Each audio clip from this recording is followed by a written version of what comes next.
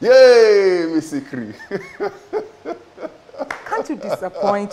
How are you so predictable? I was counting down in my mind, you know, uh, you know there's, there's oh. actually, there's actually a drum beat that goes before you before we shout, Yay, Cree! So I do, I do the beat in my head first before I will sound out. Otherwise, you don't get the energy with it. It's a fantastic Monday morning, the first day of the month that we are in the studio for uh, News Hub. So, well, happy new month, and many happies along the way, uh, beginning from Happy Workers' Day, also to as a public holiday all across the country. Mm? Uh, what else yeah. again, And of course, World Press Freedom Day. -huh. It is one day set aside to celebrate our day. The, our, our, our not day. like our, our day. day. Yeah no respect for speech or any kind of anything this morning. no, no phonology. Our day. Um, it, it's amazing, one of these greatest days to be alive and do what you love to do. Yeah. However, we mustn't, before we go to World Press Freedom Day, let's congratulate all workers. It's workers. It was Workers' Day, May the 1st, and the federal government of uh, Nigeria deemed it fit to give uh, one day, like a Monday, to workers to also enjoy the enjoyment at home, uh, so to speak. Um, I know that top, topmost on the list will be issues of, uh, let's say, uh, workers' welfare, wages, remunerations, the strikes, actions, the strike actions we've seen between government and labor, uh, still on the minimum wage. Um, I did hear the Minister for uh, Employment and Labour, Ngige, saying that any state government that is not paying the minimum wage right now is contravening the law. Uh, but the question is how many states uh, workers are enjoying uh, the new minimum wage. So many talks around that, but all the same, we wish you a very happy Workers' Day. We do pray and hope that uh, it would be uh, an end to where government and labor would, would always come at each other yeah. over labor issues. So enjoy your day, and then we'll come back to Press Freedom Day. exactly. We're going to have a fine array of guests this morning. Don't go anywhere. You know, the number one breakfast news and breakfast show in the country. We're going to let you into all of the big information and details. Number the, bottom, the, the information on the bottom of the screen is for you to uh, join Silver News Hub, hashtag News Hub. Silverbird News 24 rather is our handle on Twitter. Uh, NewsHub is a hashtag that you can send us comments and questions, suggestions. We'd love to hear from you uh, beginning from now. I hope, hope you also had a fantastic weekend. We, you know, did a little bit here and there, and um, I spent my entire time online. What doesn't matter if I begin, if I begin discussion what happened online over the weekend. We won't leave here today, but it's a discussion for, um, for, for another time. We'll, get, we'll, definitely, uh, we'll definitely get into that most, most likely tomorrow. So um, the World Press Freedom Day is something that um, I, I, see the theme for this year's event is uh, for the public good, information for the public good.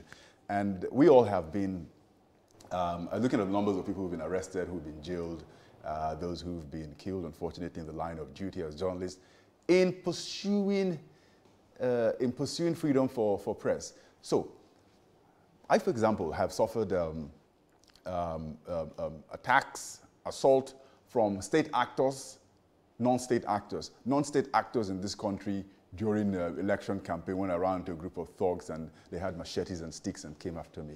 Thankfully, just sustained a couple of injuries here and there, and then I was off work for a number of weeks. Uh, off the country, I remember in Burundi, where the government of um, Pierre Nkurunziza seized my passport and told my cameraman that um, we're going to take all your gadgets, and if you don't tell us what you're doing here, uh, we're going to um, charge you for a, a number of um, offenses. But thankfully, we came through on that one, and uh, we're here today. And you know, so a lot of people, a lot of us have to go through this on a daily basis, trying to put out information uh, so that people can get better, you know, for themselves. So that's, that's the, the problem we have to deal with as journalists. They say it's the terrain we have to work in. But I see some bright light at the end of the tunnel, a lot of having to do with what is going on with uh, social media. Because of social media, we've sort of um, liberalized the information space. So people talk about the good and the bad, but now people tell me nowadays that even when we know we know you contemporary media guys won't tell us everything because of certain rules and regulations because we are governed you know, by the Broadcasting Commission, for example, uh, which has a code of ethics for certain things. And sometimes it's a big debate on exactly where, it's, where it begins and where it ends and how information is disseminated on social media. It's all out there for you, you know, and then uh, they tell you exactly um, the ones you want to hear yeah. and the ones you don't want to hear. Absolutely. You pick and choose.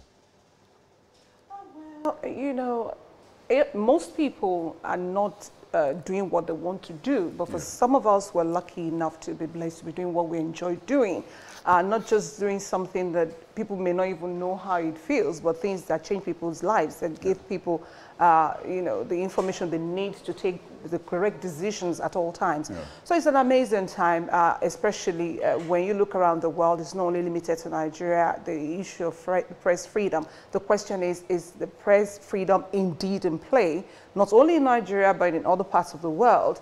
The question is coming because most of the times governments across uh, the globe would say, well, you're free to talk. In fact, in Nigeria, there's freedom of information bill, which you can access and get the information that you need.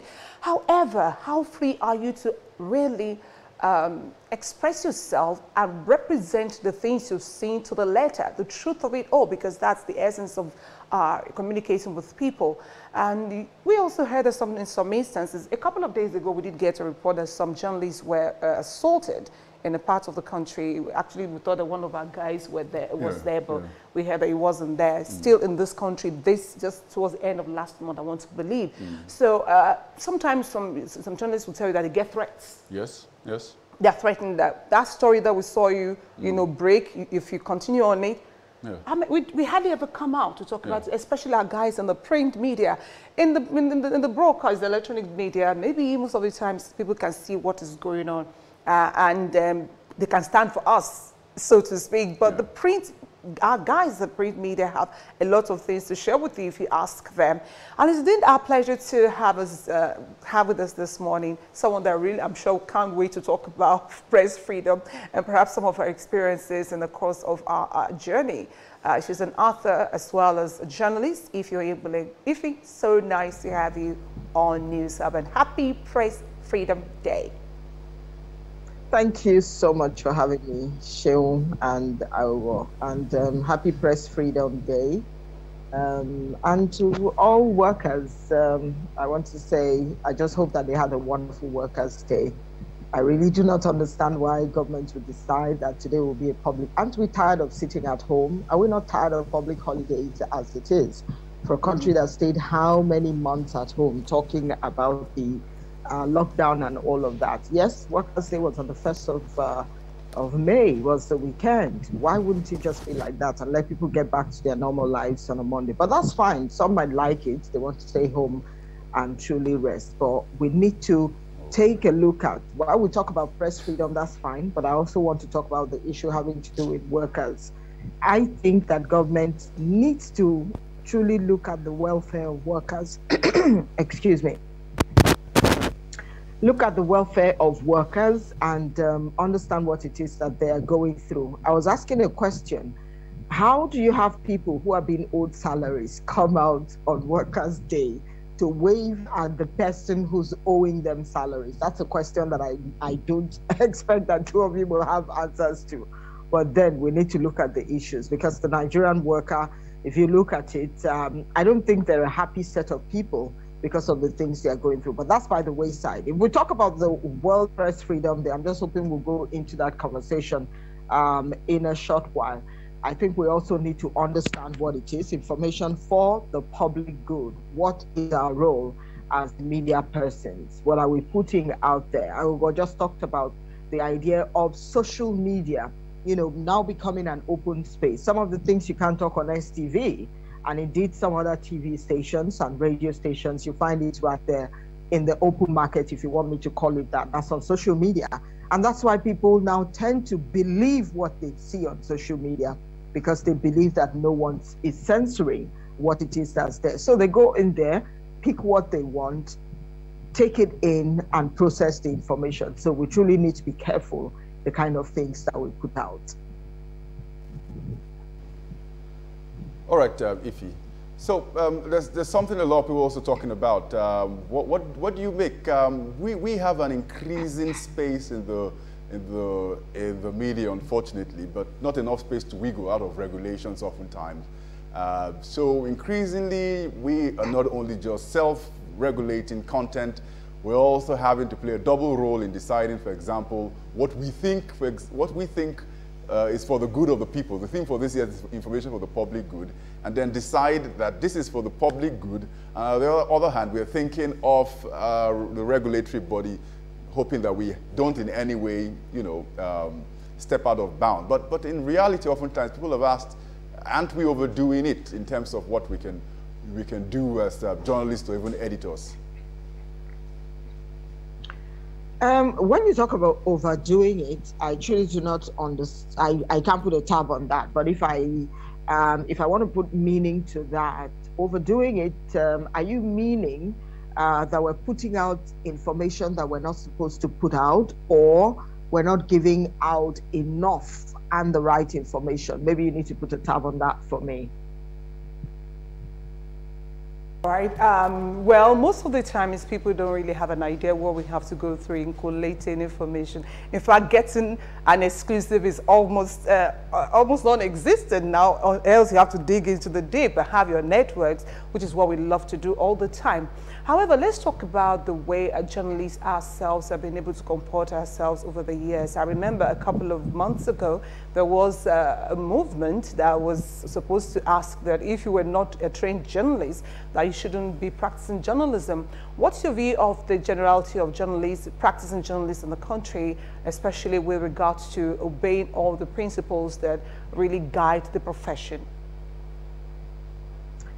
Um, that, that idea of saying to people, if you're not a professional journalist, you shouldn't practice journalism, I may not align with that. That's the truth. There's something called citizen journalism. But anyone who wants to go that way, it's important for you to find someone who will mentor you or you go get training for that. That's the truth. If you ask me, journalism is one profession that has become like an all comers affair. When people look for jobs they don't get or they're out of school, and the jobs don't come, they just find themselves, they jump into broadcasting or jump into journalism as it is. So the profession exactly has been bastardized. That's the truth. But the professional journalists in Nigeria, I want to give it to them. They are doing their best in the strictest, the tight.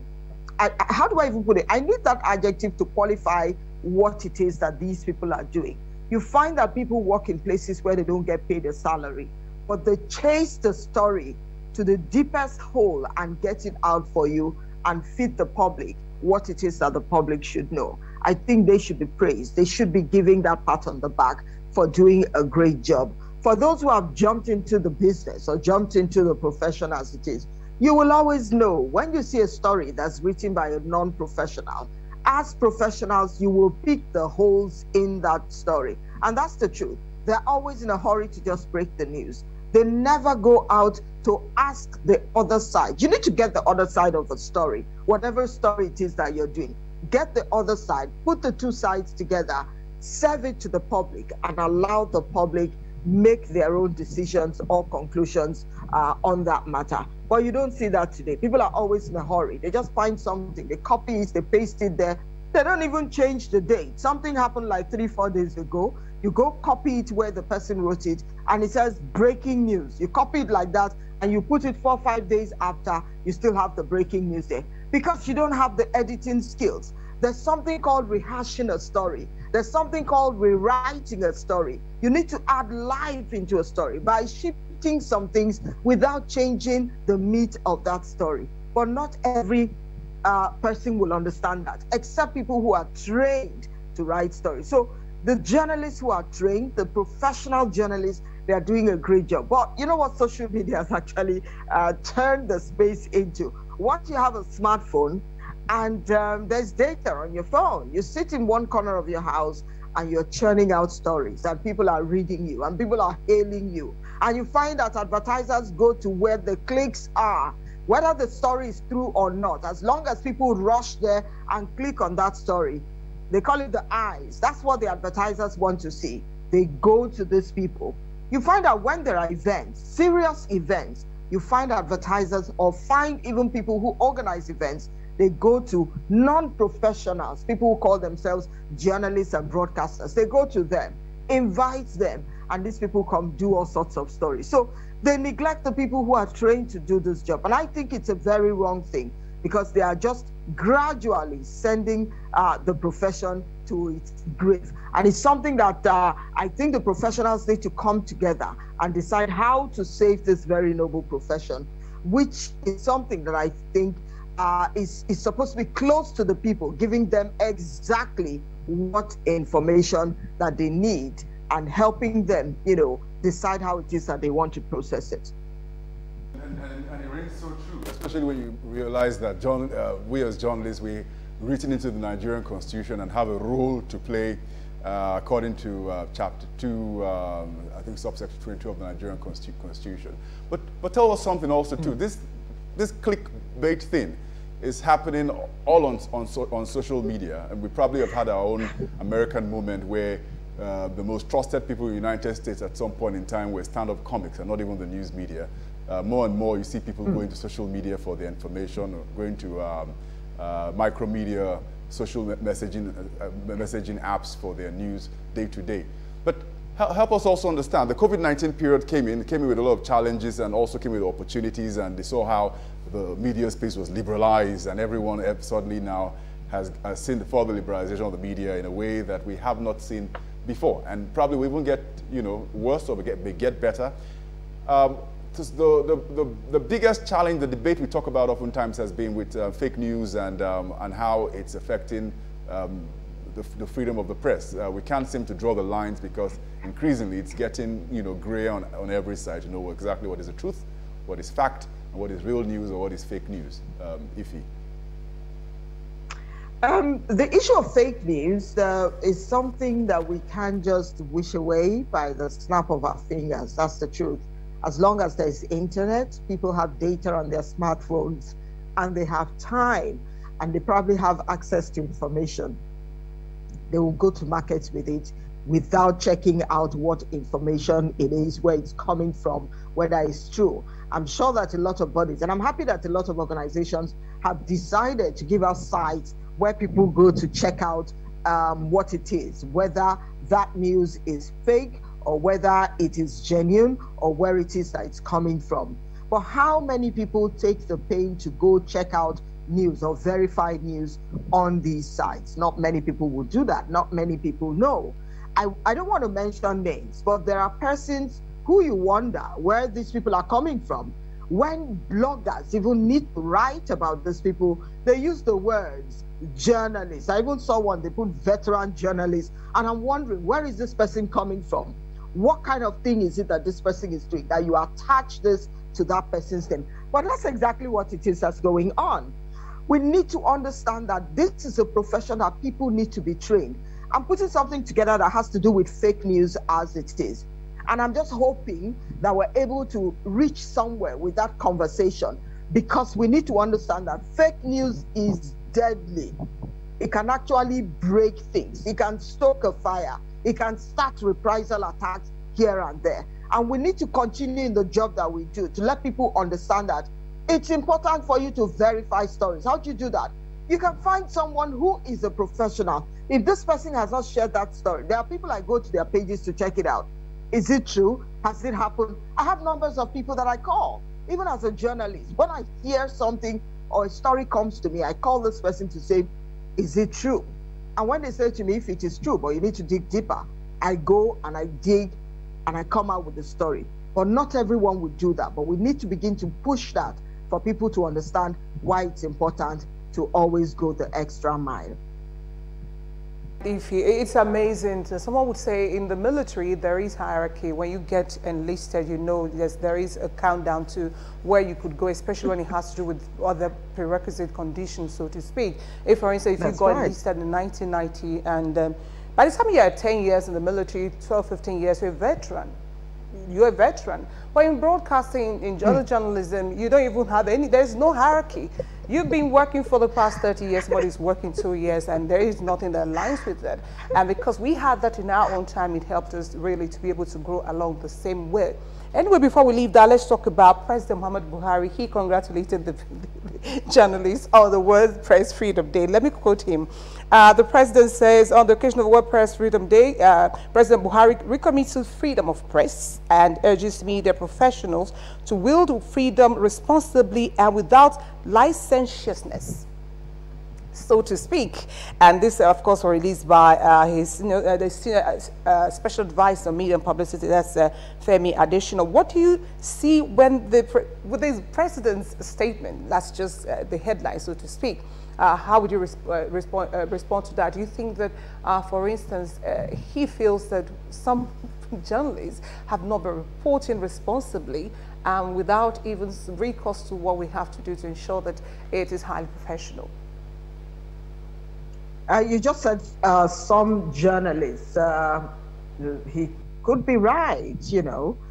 Not everyone is doing the right thing. You and I understand that. But so, between you and I, I would rather re uh, respond when I see a president who speaks to me, you know, do a video or do a live.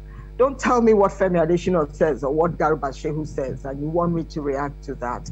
I would rather, you know, keep my uh, I'll keep my reaction to myself. But be that as it may, um, the president will not be wrong to say that there are some people who are not doing the job right. It's left for those who are not doing it right to understand that so much is expected of them. When I was growing in the profession as a 17 year old uh, on IT at the Federal Radio Corporation of Nigeria, the, the profession was such a very it, it was a noble one. It was wonderful. You wanted to be part of the of the company as it is. When I talk about company, I mean you wanted to be part of uh, the journalists, the people who are doing the job, the broadcasters. But today, you're even ashamed at some point to call yourself a journalist, except you travel outside the shores of the country. And that's when people respect you. Oh, she's a journalist from Nigeria. People look at you and they want to see that thing in you, how you report stories. They want to hear you talk about your country. But here in Nigeria, you call yourself a journalist, people just look at you. Of course, all they think about is brown envelopes. And I say to them, not everyone thinks that way. People come to do their jobs, they do the job and they walk away. If you decide to appreciate a journalist, you won't lump everyone together to say these are brown envelope journalists. So whatever the president is thinking, I hope he understands that the box stops on his table. How does he want to make it right for the people? How is he talking to his men who represent him in the different states across the nation to understand that journalism is a noble profession? The people must be paid their wages. How does he impress it on people who run media organizations to say to them, you have to find a way to meet the needs of the people who do this job? So many conversations need to come up when it comes to the issue of journalists and the way that they are treated. Yeah. And I think people need to just do the right thing. Thank you so much, Ife, journalist and author. Thank you so much for being part of uh, the program today. You're still with us. We'll take a very short break. When we come back, uh, we have the focus of the day that just went by. We talk about the quote of the day, and of course, the newspapers are here. Uh, we talk about the front page stories in a moment. Do stay with us.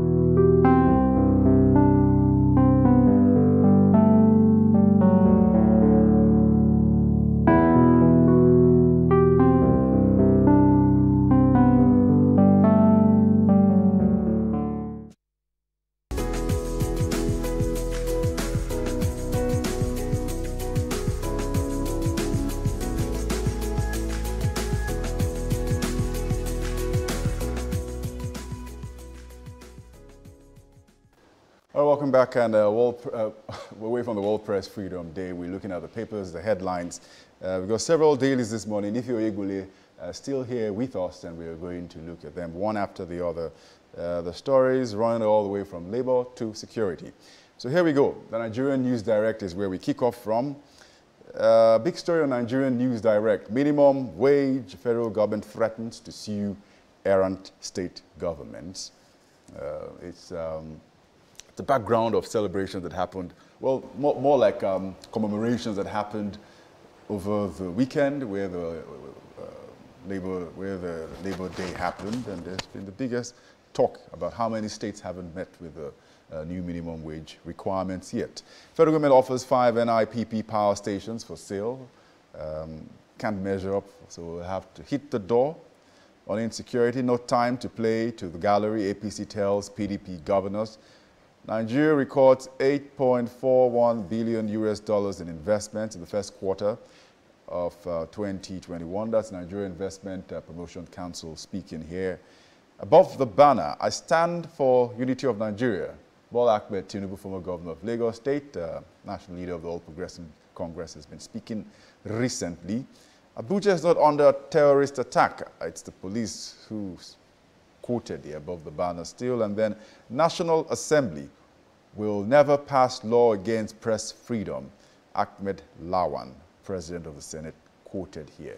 You get all the stories and more the Nigerian News Direct. And then let's see the cover page of the Nation newspaper today. Uh, the biggest story here, APC, PDP clash over worsening insecurity and uh, what Buhari is doing by ruling party. You also see policeman agency chief killed in Kogi, Ebonyi. And uh, we need US-UK rescue mission, says Governor Sule. And Christian Association of Nigeria CAN seeks urgent action Get all the sides of this story when you turn to, into to page six of the paper. And above the name page, the one worrisome story to many over the weekend. Lady applicant raped, killed, buried in Uyo. Police exhume body. You can get the details on page four of the paper. Uh, governor to reveal Owerri tax mastermind. That's on page seven. And uh, Nigeria better together, says Tinubu and so many other stories. The DSS warns against threats to security and um, Labour queries NERC parameters for tariffs review. Uh, these and many more inside the nation on Monday. All right, next up is the punch, and um, the vaccine dilemma is uh, what is before us this morning. The federal government vaccine fund runs into crisis as AstraZeneca's scarcity uh, hits India. Um, story says Nigeria may go for Pfizer, which costs $20 per dose. AstraZeneca costs $4. Uh, how, do you, how do you work out the differentials here? WHO may review usage of expired COVID-19 vaccine for Nigeria and others. There's a protest in Akwa Ibom as a fake recruiter um, has killed, who killed a job seeker. It's a big story online over the weekend. Uh, Fenifere was, was right by refusing to support Buhari. Pastor Roti was is the one who's speaking here. And we've been servicing our first bank loan, says Honeywell. Uh, the drama continues over um, the crisis that hit the country's the first lender bank. And then NUJ kicks as Benue justifies arrest of uh, journalist. Interesting World Press Freedom Day we talked about and we're still talking about. We save 45 northern youths from mob attack, and this is in Ondo State. And then above the banner with the punch, Akwa Ibom office attack, burning 345 ballot boxes, threatens uh, the 2023 polls. This is from INEC. And then the minimum wage, Christian Ngige, the Minister of Labor, is consulting the Attorney General of the Federation, is threatening to sue uh, state governors who haven't done what they should do. Brent price slides, petrol landing cost hits 199.9 uh, naira per liter. It's almost imminent now that uh, if you don't get the subsidy running, then probably would have a hike in the cost of pump price of petrol. Get the stories and more in The Punch. All right, uh, from The Punch now, let's go to Daily Times today. And the biggest story here, power firms for sale, consumers to pay higher tariffs from July. You can get the details on page two of the paper. And um, press freedom, Buhari reaffirms commitment to press freedom, urges respect for ethics. That continues on page nine. COVID-19, federal government bans India, Brazil, Turkey visitors from entering Nigeria. You can get the continuation of that story on page five of the paper. So many other stories when you uh, check out the paper today. All right, so we can begin to have a look at um, the analysis um, straight away. So if we have um, a number of stories all the way from labor to um, vaccine fund crisis over the AstraZeneca, but is there, is, I, I, we haven't heard you say anything about the Labor uh, uh Day yet. It would be good to hear what you have to say with the, with the Minister of Labor, Chris Ngige, threatening to sue state governors who are not paying the, minim, the new uh, uh, uh minimum wage. Hmm. Um, the issue of labor, we've uh, talked about this over and over, and it seems like we're sounding like a broken record. I do not understand why it's difficult for some people to pay. Remember, even the Holy Book says that the worker deserves his wages. Now you owe people salaries. Some are saying they're not able to pay the minimum wage. Where were they when they were agreeing to pay for crying out loud? And you ask yourself the question, how much is this minimum wage? Is there a governor who's been owing who's been owed salaries? I'd like to see his hands up if there's a governor who would say that he's been owed salaries. They don't get to owe governor salaries. They don't owe deputy governor salaries. You don't owe commissioner salaries. So why would you owe the Nigerian worker? It's really sad. And I think government, when we talk about government, I know government is you and I, but the people who are at the helm of affairs holding this country by the jugular, they need to come together and talk about the issues having to do with the Nigerian worker. Yes, I know that some say that the civil service is overbloated. I still ask the question why do you keep recruiting? Yes, some have recruited before some government came into office, but government never stops. It's, you continue from where the other man stopped as soon as you come into office. If you want to shed weight, why don't you shed weight? Then you make the environment conducive for people to thrive with the small businesses that they decide to set up. This is the only country where I see that a lot of people want to run into the civil service because they believe that whether they work or not, the salaries will come. But it shouldn't be like that. We need to also begin to think about the idea of paying people per hour. I think it's possible. That way, people will get serious. What have you put into the job that you're doing? You clock in at this hour, there are cameras watching you. Are you doing the job for which you were employed in the very first place? Now, when people are paid by the hour, they will understand what it is to not sit down and wait to get paid after 30 days. So these issues need to be looked at. We need to sit down, look at it holistically, and decide where to move from here. But if you ask me, that thing that we call the minimum wage, it doesn't even take them to the bus stop, not to talk of taking them home. Do you think about how they pay their rent? how they feed their children, how they clothe themselves, clothe their children, and even pay their fees as it is. The Nigerian worker is not really getting what he deserves. And when I say he, it's all inclusive. We need to look at it again and exactly do the right thing. I do hope that we do right, do the right things. I mean, all the time, Ify. Uh, let's take a look at the cover story of the Punch today, which has to do with health. A federal government vaccine fund runs into crisis. as AstraZeneca scarcity hits India.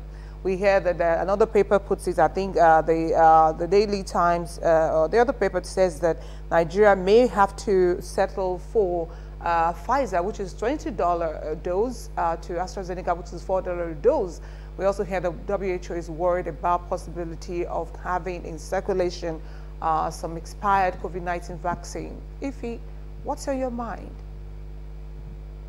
I'm scared. That's the truth. I can't wait to go take my second dose. And I did say, I raised that um, sentiment at some point to say, I just hope we don't find fakes or substandard things coming into Nigeria in the name of vaccines as it is. Now is the time for, I'm sick and tired of talking about government waking up. That's the truth. We don't have to keep reminding them that they need to be up and doing when we talk about their responsibility. NAFDAC needs to wake up now. Madam Adeyeye needs to truly shine her eyes. Let me use that language that we use in the local parlance. You know, she needs to wake up and understand that responsibility rests on her shoulders now to be able to decipher what it is that's coming into Nigeria. We need to wake up. All the bad things don't have to end up here. And if government needs to spend money to get the real deal for Nigerians to take this so that people can, you know, be safe from what it is that might hit them if they come down uh, or if they get infected uh, with, with uh, uh COVID-19. I pray that doesn't happen. But the idea is for us to be 10 steps ahead of what it is that's going on. I saw videos about what's happening in India, and my heart broke. I have a couple of uh, colleagues who live there. I have family members who live there. I have friends who have worked here in Nigeria. They are Indians, and they've gone back during this COVID 19 period. Their companies folded up and they had to go back to India. I've been in touch with them to say, I hope you're okay, because I see the way people are dropping, you know, passing out on the streets. This is not what we need to see. And I just hope that uh, we don't get to that stage here in Nigeria. Uh, we need to wake up as a people and truly be on our guards. That's the truth. Numbers are at the bottom of the screen. If you want to join the conversation on News Hub, you are free to do so. Make sure you listen carefully to the call handlers when you patch through every instruction. Important, very importantly, turn off your TV and go to a quiet place so we don't get the feedback uh, once you're connected uh, to us. So if you, almost all the dailies have the story, the biggest story online over the weekend, which was um, the young lady, Iniubong Umoren, who decided to put her um, job-seeking um, um, initiative online and then um, she got contacted and the story unfortunately from then on went downhill. Um, she got contacted and then lost her life unfortunately, sexually assaulted, physically assaulted. I mean, we, have not seen that sort of aerial bombardment on the digital trail of anyone to track someone like it happened on social media over uh, the weekend. Sad, isn't it? Very, very sad. That's what I woke up, you know, talking about this morning. I made a post this morning about it, I think at about 5.30 or 6. You know, I woke up, I saw the story. All through last night, I was reading about this young girl. People were posting things. That child, that girl could have been my child. That's the truth. Maybe my first or second child, as it is, if all things were equal. You know, could be anybody's child. A child went through school. I saw a picture of her right in front of I think uh, something uh, in her school, the school where she went to, and she put on a t-shirt all the things she had to go through, the semesters, the courses, and everything to say, look, now I have run the race. I, I, I've, I've reached the end of that race. I breast the tape, and it's time for me to step off and get a job. Then she ends up in an early, shallow grave. It is sad. Anything short of saying that that is sad I think that will be so, so not nice to that little girl. I'm just hoping that um, the gentleman who every finger is pointing at now is made to face the music. And I'm just praying that nobody comes out from anywhere to go to bed. We have a, a habit in Nigeria where you have people come out from all sorts of places shamelessly going to beg the authorities to say, what has happened has happened. Don't let's have two deaths on our hands. I just think that uh, the law needs to take its course. The gentleman needs to face the full wrath of the law, and he needs to face it as fast as anyone can think of. Because who knows what that child should have been? That could have been the very first female president of this country. Then you snuff life out of her. All she did wrong was wanting to work. If he, uh, that, that, that man was, is nothing in fact, it could be every other thing, but not a gentleman. Just as Algo said in the house, a monster. A better way to really, really, you know, uh, describe mm, what mm. he did. And we heard, according That's to very sad. report, that uh, there were possibility of him to have been involved in prior involvement in things like that. So how do we uh, now separate? Because many people have got uh, jobs online. Most of the times you put your uh, CV online and you get, in fact, this is maybe one of the very few times when we would hear uh, things like this. How then do we protect ourselves, especially those who are seeking jobs this morning and whose CVs are there online? Uh, it, it may change everything. Yes, it will change everything. Two jobs that I've held, you know, as management staff, it's been with people that I never knew of course, it's been referral. This is a woman who can get to do the job. And they call me up to say, we need to have this meeting with you. It could be a phone conversation. What do you need to come do this job for us? And we reel it out. Yes, I know you get to that stage where people need to call you to bring your expertise uh, to the table and come turn things around in their organizations. But for young people who are just starting out in life, you've got to be careful. All these messages flying all over the place You can imagine at this stage, I still get those crazy messages. And I wonder, where did they get my number from? I never applied for any job. And you say to people, and there's one location in Ikeja, I don't understand why the police has not even gone to bust that place. You send people messages to come to somewhere in Ikeja or maybe or something, and that they've been um, offered employment, they should come for interview and all of that. People who never applied for jobs. Okay, maybe this young girl applied now. They invited her and she just went. Young people need to understand that sometimes when you see something, it is too good to be true. You've got to be careful. Let people know where you're going. Be vigilant when you get there. And when you get there, your mind tells you this is not the right place to be. It's important for you to quickly take a walk. Why would you follow the man to his house for crying out loud? I heard he took her to his house. It just doesn't make any sense. But it is wrong for us to start to blame the child for going and following someone to his house. That's beyond that now. But people need to understand you have to be very careful. You've got to be very vigilant. Ask questions. If there is a number when you're invited, call that number and probe. You need to find out more before you take a step uh, and go into that place. All right, so num numbers at the bottom of the screen. Please do call in. You can also talk to us on Twitter. Uh, we're live on Twitter at uh, SilverbirdN24, hashtag news. We'd love to hear from you. The big stories this morning uh, as they continue to unravel. Let's um, take a look at the other dailies we have before us this morning. Uh, we have next up the Nigerian Tribune. Nigerian Tribune's got the story saying that um, if you're interested to know exactly how much Nigeria is owing China from the debt management office stands at 3.7 billion US dollars. Hmm? 3.7 billion dollar US dollars. You read up and find out uh, just how this debts, uh, the, how they are spread out, spread out and what Nigeria's repayment plans uh, from the debt uh, management office. Outrage over rape murder of a Akwa Ibom job seeker. It's a big story in all the dailies. Uh, police intercept 13 guns and uh, 753 general purpose machine guns and uh, ammunition in Ebonyi State. There's a story about the gunmen raising the INEC office in Akwa Ibom State. And then uh, this one. Sonny Ferry justified for not supporting uh, Roti at his, um, supporting Buhari, Roti says, at his 70th bet birthday. And um, there you have a number of stories to look at. Final consensus on fuel subsidies or business analysis. Get the stories and more Nigerian Tribune. I understand we have a call coming in from Lagos. Ebuka, great to have you join us this morning on News Hub.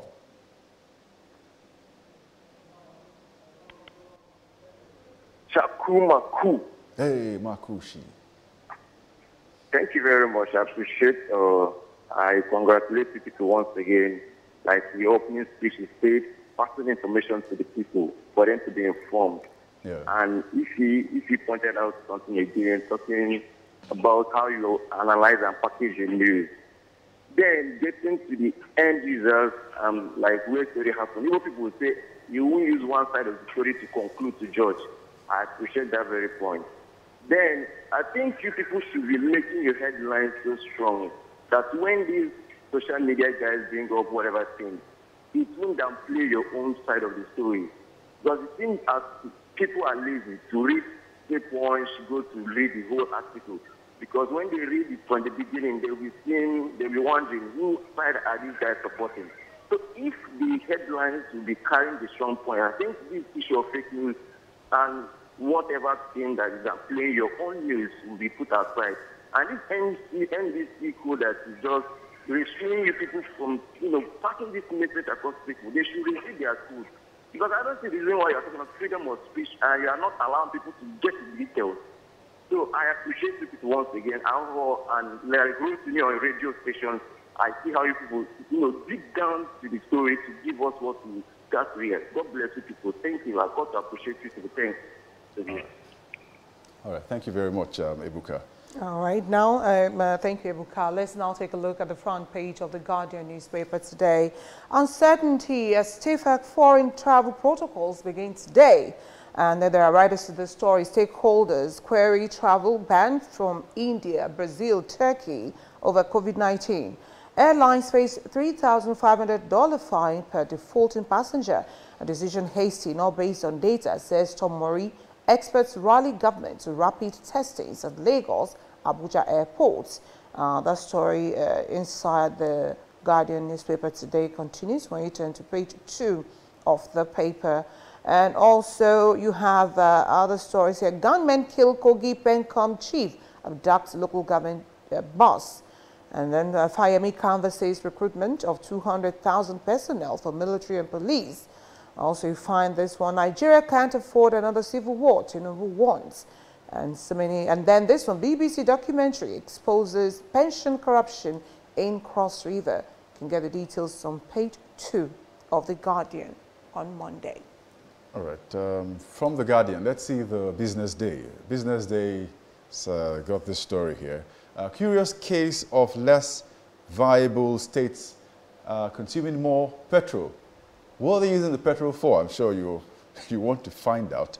Uh, I'm, also, I'm also interested and curious myself to wonder how states that don't have any business going on are spending more fuel uh, than the states which are uh, thriving more. But let's speak with Innocent. Innocent is calling us from River State and wants to comment on any of the headlines that has caught your interest. Innocent, please go ahead.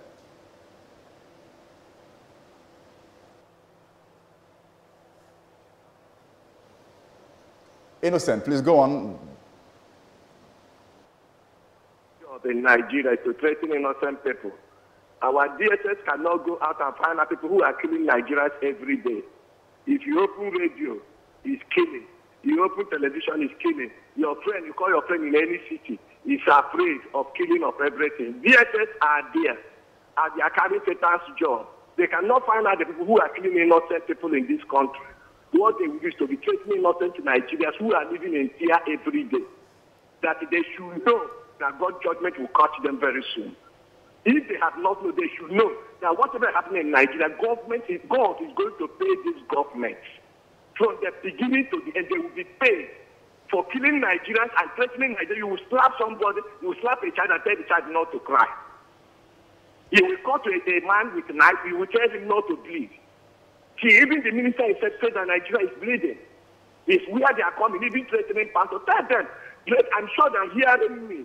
God of heaven who created heaven and we, we catch them and their families very soon. As long as they say we put tears in Nigeria and put pens in Nigeria and say Nigerians will not speak out, God of heaven will catch them and their family. They will face their doom very soon. I think they are in government. God of heaven, they have gone. DSS has gone.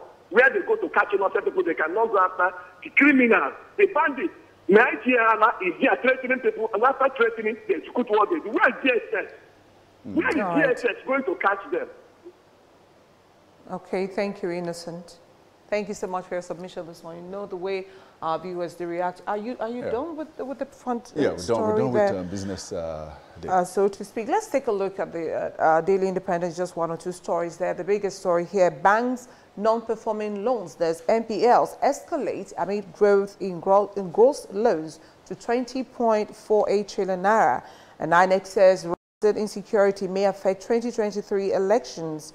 Government policeman in Fresherboy Station attack, and we hear that uh, the, the writer there killed Kogi Commissioner, Dr. Uh, local government chairman. That's one of the very big stories uh, also on Sunday. Um, Serap drags federal government to ECOWAS court over NBC code. You can get the details on page four. And BP offers five NIPP Gencos for sale. Why? Turn to page, page four. So many other stories uh, inside uh, the Daily Independent today. Ify, let's, uh, of course, you can make your calls. All right. Ify, we'll come back to you in a very moment, very short moment. We do have Olumba calling us from Imo State. Olumba, so nice to have your knees up. Yeah, good morning. Good morning, Olumba. Yeah, well, on APC, PDP clashing over worsening insecurity, I, I, I want to believe that in a Senate climb, APC shouldn't be here. In a Senate climb, uh, as a ruling party, uh, you know, uh, APC should just go and bury fair, you know, in shame, and not come out to join issues with anybody. because they made promises and, you know, of a good governance when PDP was there. Now they have taken over and things are getting from Worcester, you know, worse to Worcester, if there's any word like that. Nigerians can no longer travel on the roads. Nigerians can no longer go to farms. Abuja is even, two, uh, uh, you know, under a threat. Two-hour drive from uh, uh, Niger State. And then they are coming to tell us to talk. Nigerians can no longer do anything. Why, what is leadership all about? Why can't people demand for good governance? You know, Melaki talks and they attack him. Let me, Father Mbaka talks, we attack him. Uh, Bishop Kukah talks, we attack him. Professor only APC sees it that Nigeria is not thinking. When the nation is not thinking, you know, so please, nobody should come out to tell us anything about APC anymore. And they shouldn't come out to tell us anything. It's a shame that APC is still talking. When the nation burns, they have mm. no panacea at all. There is no future for Nigeria. And the APC is still talking. If you find your number from Olu, have a pleasant day in Lagos. Mm. All right. Um, th thank you very much, Ifa Olumba. Uh, uh, we have a question for um, Ify. Yeah, if you actually, uh, I was thinking that we should talk about the issue of uh, planned hike in electricity tariff coming in July. Uh, the federal government had planned to do that June, uh, January this year, but for so many hues and cries from different quarters, what's your view uh, on that? I don't even know where to start from. The Nigeria has just been hit left, right, and center my sister-in-law came home the other day and said to me, do you know what it is, how much things cost in the market? I said, of course I know. Sometimes I step out to, buy things. And you wonder, there's this tariff, this one is coming at the at, at the Nigerian, that one is coming and all of that. Now you're talking about hike in electricity tariff. What do you want us to do? I just hope that someday you wake up and there wouldn't be people for you to govern anymore because that's the stage where we're going. I'm so afraid that we might now fall back. Remember when it was that Nigerians used to go about to pick food from the dustbin, if you understand. There were people who were practically opening the trash cans of other people to take leftover food from there. I'm afraid that that's the road, that's the path that we're dancing on. And I'm hoping that we don't get there. Why are you increasing tariff for crying out loud? Now, we just talked about people who have said that they're not able to pay the minimum wage. I hear of people who have said to the, the power holding company, please just cut it off. Take your life. We don't want it. That's how they say it. And they cut themselves off, off and they only stay on with their generating sets. Now, for those who decide to stay on the grid, you're saying that you're going to increase tariff. How are they going to push on that effect? It's really sad, Shemu. And that's the least that I can say. It's very sad. Where do we go from here? That's the question. Because keep asking, how did we get here? I keep asking that question, but we're here already. How do we get out of the speech that we're in? That's the conversation that we need to begin to have as a people. Before we let you go, there's an addendum to the COVID-19 uh, story. This time not with the vaccines, but what is going on at the airport. Uh, there have been new rules, mm. protocols. There's an ongoing debate whether to ban flights coming in from India, Turkey, countries which have seen recent spikes. And uh, appears that it's beginning to be an idea what would happen in the coming days, but it's going to spell chaos at the airport going by what we see in terms of what they intend to do, reduced by uh, 24 hours, it becomes 72 hours for those PCR test results. Um, if you're coming in from India, you're a foreigner, you may not be able to get access to this country if you've been on transit. So many things going on. W what are your thoughts? My thoughts? I just think the government should just go ahead. Those countries where things have really gone so bad now, if you need to ban the flights coming in from there, please go ahead and ban those flights so that we're not caught napping again as it is. You know what it is? When things go bad, we will not be able to cushion the effect of what is likely to happen. So it's best to start now, early. It's still early in the day. Government needs to do what it needs to do ban the flights coming from there, whatever it's going to take. People who come from, I don't know how it's going to be. Why you don't, why you're even thinking about it in the very first place. Do the right thing so that you can secure the lives of your own citizens. That, that's my own, uh, uh, that's my own opinion as it is. Government needs to do what it has to do because the lives of the people should be more important and paramount when we talk about uh, governance in this country. All right, journalist, author Ifeanyi Egbule, it's always a pleasure to have you on News Hub. Thank you for having me this morning. All right, have a beautiful week. You're still watching News Hub, and uh, well, we know that so many other things are coming up on the show. Right, right. It's still the labor discussion we're going to have. We have a fine array of guests, and so just sit back and watch. Up next is News Update. Please stay with us.